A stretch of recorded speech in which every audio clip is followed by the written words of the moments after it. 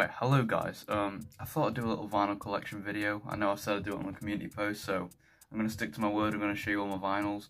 But CDs I'm a little more hesitant to do because I've got loads of them, and it just gets really boring to talk about them. Not sure why, but yeah. As of now, I think I've got about 14 vinyls. Most of them are electronic music, obviously, but I do have a bit of rock, a bit of hip hop, so I could, that's cool, I guess. Okay, so first up, my Aphex Twin vinyls. I've got Come to Daddy here, and I've also got Peel Session 2. I wonder what happened to Peel Session 1.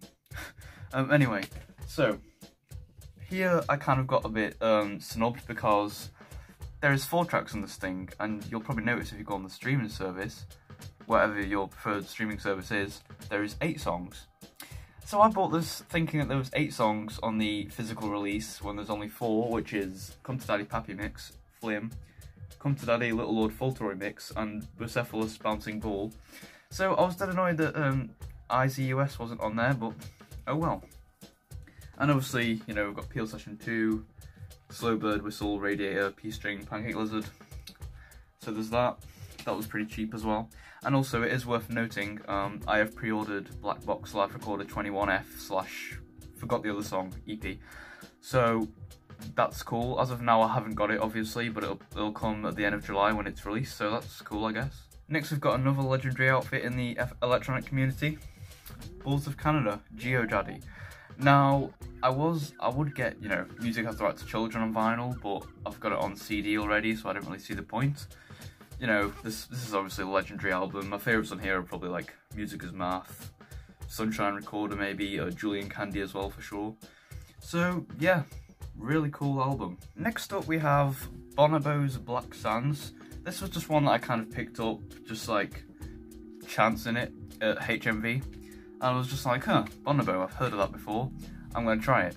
Turns out this is a really great album. I actually really like songs in here like Kong, Kiara, and many more. So great album, check it out. Probably my favourite album of 2010 as it stands. Next up we've got Biceps, self-titled. I got this from HMV, but I was also kind of seeking it out at the same time. Um, this is probably the most expensive one that I've got. You know, there is 12 tracks on here. And um, yeah, my favourite has to be Glue. I mean, come on, Glue is just incredible. And I also really like Aura and Spring and stuff.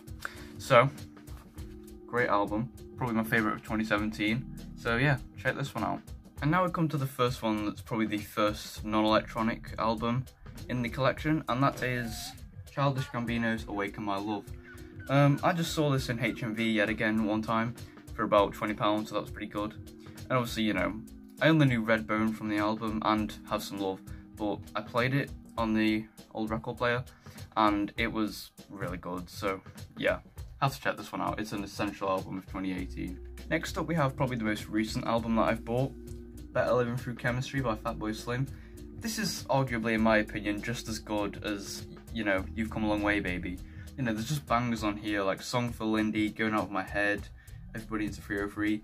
I actually think Song for Lindy is his best song, like being anything else on the second album, so there's an unpopular opinion for you there.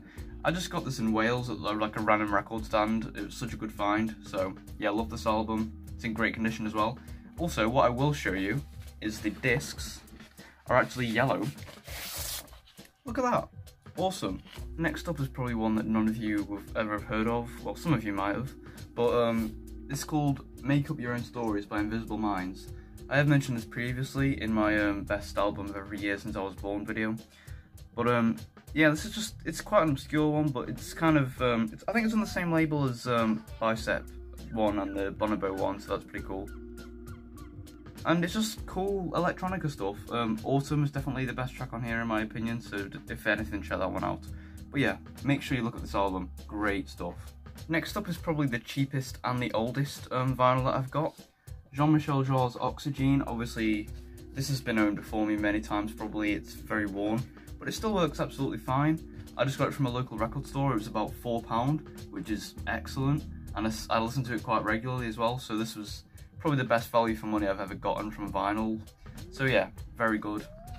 Great album. And next up, we have actually the first vinyl I ever bought, Music for Psychedelic Therapy by Jon Hopkins.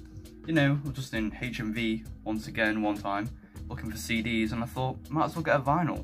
I didn't actually have a record player at that point, but um, I got lended a record player and I, then I could play this, so very good, awesome album. This is just really good ambient stuff, you could easily fall asleep to it.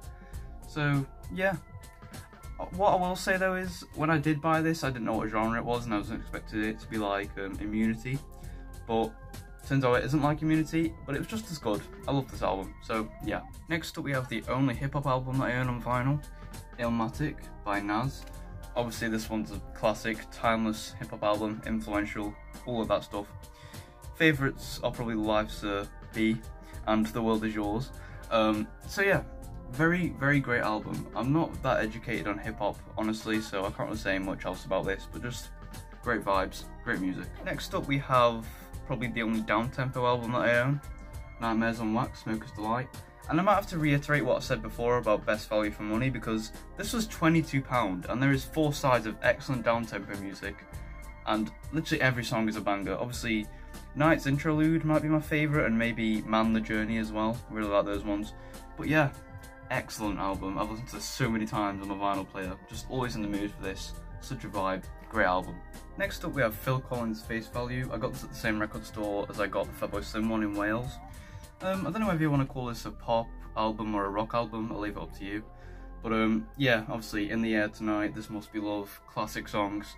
Um, I haven't been a huge Phil Collins fan for a while now, I haven't really been too vocal about that, but I absolutely love Phil Collins and I love Genesis as well.